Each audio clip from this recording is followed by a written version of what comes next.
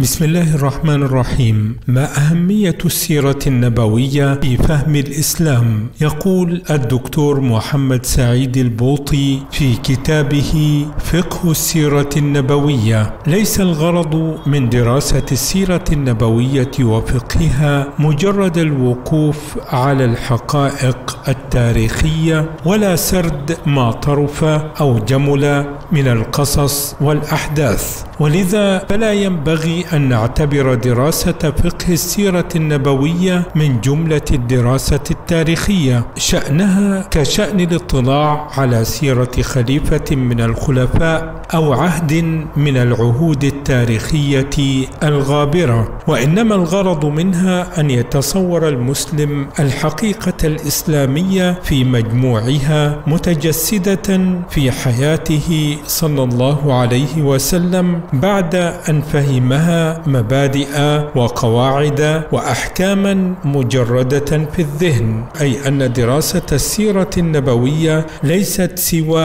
عمل تطبيقي يراد منه تجسيد الحقيقة الإسلامية كاملة في مثلها الأعلى سيدنا محمد صلى الله عليه وسلم. ويقول البوطي إذا أردنا أن نجزئ هذا الغرض ونصنف أجزاءه فإن من الممكن حصرها في الأهداف التفصيلية التالية. واحد فهم شخصية الرسول صلى الله عليه وسلم النبوية من خلال حياته وظروفه التي عاش فيها للتأكد من أن محمدا عليه الصلاة والسلام لم يكن مجرد عبقري سمت به عبقريته بين قومه ولكنه قبل ذلك رسول أيده الله بوحي من عنده وتوفيق من لدنه. اثنان أن يجد الإنسان بين بين يديه صورة للمثل الأعلى في كل شأن من شؤون الحياة الفاضلة كي يجعل منها دستورا يتمسك به ويسير عليه. ولا ريب أن الإنسان مهما بحث عن مثل أعلى في ناحية من نواحي الحياة فإنه واجد كل ذلك في حياة رسول الله صلى الله عليه وسلم على أعظم ما يكون من الوضوح والكمال. الكمال ولذا جعله الله قدوة للإنسانية كلها إذ قال لقد كان لكم في رسول الله أسوة حسنة. ثلاثة أن يجد الإنسان في دراسة سيرته عليه الصلاة والسلام ما يعينه على فهم كتاب الله تعالى وتذوق روحه ومقاصده. إذ إن كثيرا من آيات القرآن إنما تفسرها وتجليها الأحداث التي مرت برسول الله صلى الله عليه وسلم ومواقفه منها.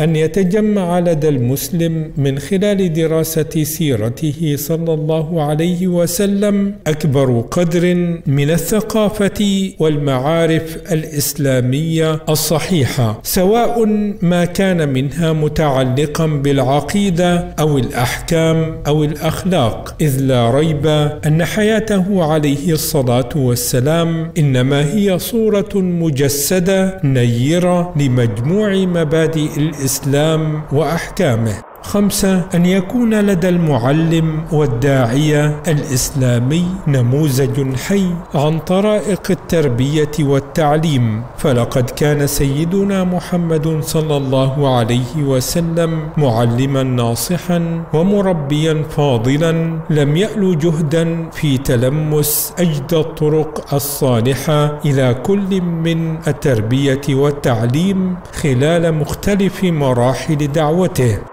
وإن من أهم ما يجعل سيرته صلى الله عليه وسلم وافية بتحقيق هذه الأهداف كلها أن حياته عليه الصلاة والسلام شاملة لكل النواحي الإنسانية والاجتماعية التي توجد في الإنسان من حيث إنه فرد مستقل بذاته أو من حيث إنه عضو فعال في المجتمع. فحياته حياته عليه الصلاة والسلام تقدم لنا نماذج ساميه للشاب المستقيم في سلوكه الأمين مع قومه وأصحابه. كما تقدم النموذج الرائع للإنسان الداعي إلى الله بالحكمة والموعظة الحسنة. الباذل منتهى الطاقة في سبيل إبلاغ رسالته. ولرئيس الدولة الذي يسوس الأمور بحذق